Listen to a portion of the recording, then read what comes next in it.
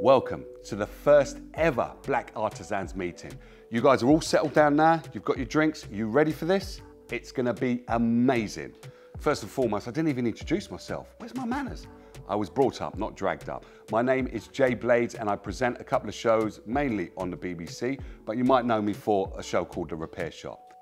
The reason why I am welcoming you because I am truly 150%, there is such a percent, so don't worry about it.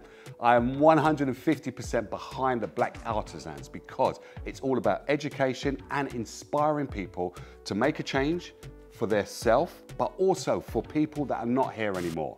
For me, the way that I look at craft and look at me contributing towards craft, it's all about making sure that people can actually see it so then they can be it. You know that saying, don't you? If you can't see it, you can't be it. And that's what this is all about. I just want to make sure that you guys understand how important it is for you sitting here or standing. There's some of you standing.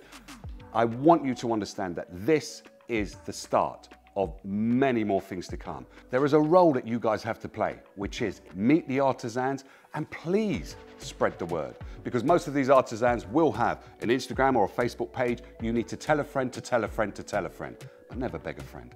Basically, spread the word. That's what you're here to do. Be inspired and then spread the word amongst everybody you know. Take care.